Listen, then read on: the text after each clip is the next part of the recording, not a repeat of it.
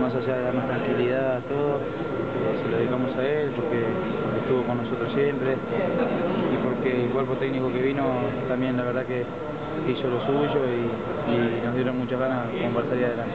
¿Crees que la victoria fue justa teniendo en cuenta que tanto al principio como al final del partido Gimnasia pateó muchísimo al arco?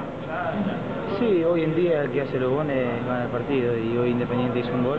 Después tuvimos una situación muy clara que, que pegó en el travesaño y que no lo pudimos concretar. Así que yo creo que Independiente ganó muy bien porque no necesitábamos.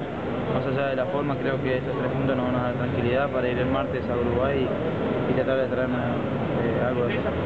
¿Cómo ves el partido contra Godoy Cruz? Teniendo en cuenta que es un equipo muy, muy bien conformado, Independiente ya mucho más tranquilo, ¿cómo ves al equipo? Y bien, eh, ahora a nosotros nos toca el compromiso de la Copa y estamos muy, muy pendientes de eso.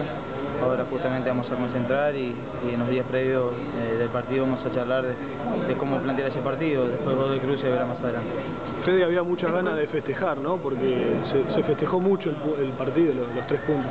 Sí, eh, uno cuando se encuentra en estas situaciones que, que por ahí duelen mucho porque ninguno de nosotros se merece esto, porque la verdad entrenábamos muy duro y, nos sacrificábamos mucho y, y, un resultado de esto nos da, nos da mucha alegría porque eh, por ahí sirve para, para arrancar y, y, sumar puntos. ¿Te fuiste golpeado? ¿Llegás al martes?